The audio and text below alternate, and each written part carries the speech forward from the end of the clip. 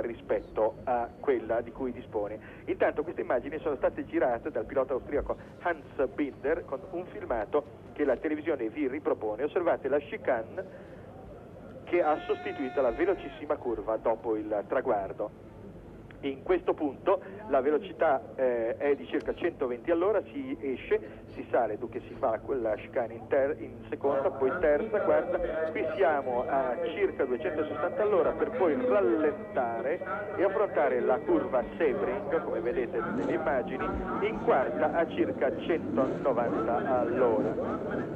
Ecco, questa è la curva Sebring, 190 all'ora in quarta.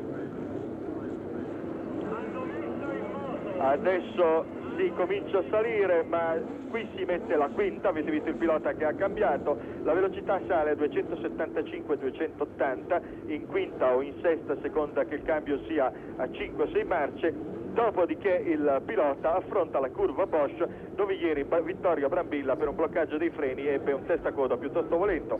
Questa curva Bosch si percorre in terza a circa 160 all'ora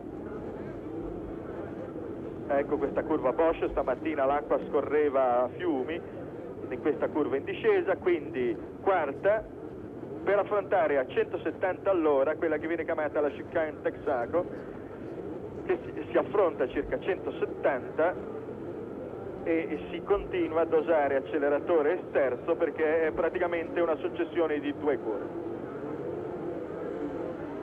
Questa è la prima, qui si mette la quarta si esce e si comincia ad accelerare ulteriormente per salire a circa 200 all'ora.